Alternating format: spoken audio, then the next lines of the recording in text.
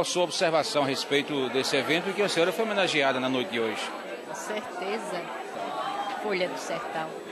Eu quero dizer que esta homenagem ela foi muito importante para a minha vida, para a vida da sociedade, em particular a classe advocatícia. Eles aguardavam, aguardavam este momento ímpar na história de Souza. Souza, eh, quer dizer, a OAB Subseção de Souza, ela precisa divulgar suas ações. E chegou a hora. Doutor Lincoln está sabendo dirigir a OAB Subseção de Souza na, muito, como manda a instituição, com respeito, com capacidade, com dignidade e espírito de solidariedade.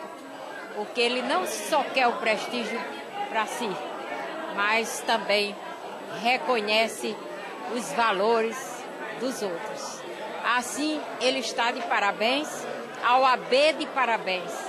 Eu estou encantada com a, os alunos, alunos não, eu quero dizer os acadêmicos de direito, os juízes presentes, palestrantes de muitos conhecimentos que os jovens precisam absorver todo, todos estes conhecimentos que são necessários no momento atual.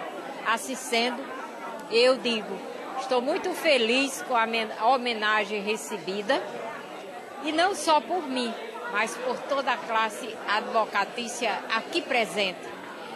Sentimos nos olhos das pessoas o calor humano, aqueles parabéns, aquela, aquela demonstração de que era realmente o que estavam esperando. Agradeço a imprensa, agradeço a você, Levi, não é? e todo o, o seu assessor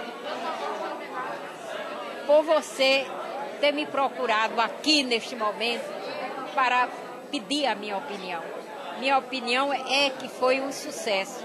É que nós temos é que repetir é, o reconhecimento dos valores que nós temos. Um valor como você e como toda a classe advocatícia. Viu? Muito obrigada. Muito obrigada pela lembrança, pelo reconhecimento.